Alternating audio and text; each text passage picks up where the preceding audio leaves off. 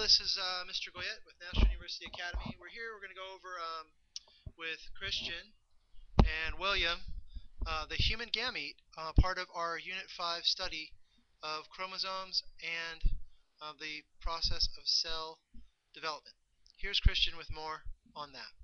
Alright, so the human gamete has 23 chromosomes.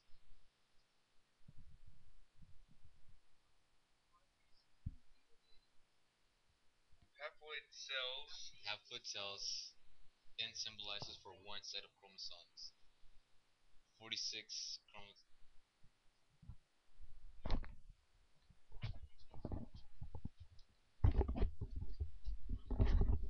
Forty-six chromo- chromosomes are uh, diploids, and the equation for that would be 2n, or two sets of 23 chromosomes equal 46.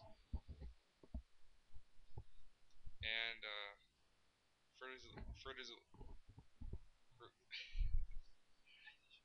fertilization forms a diploid zygote or a little baby.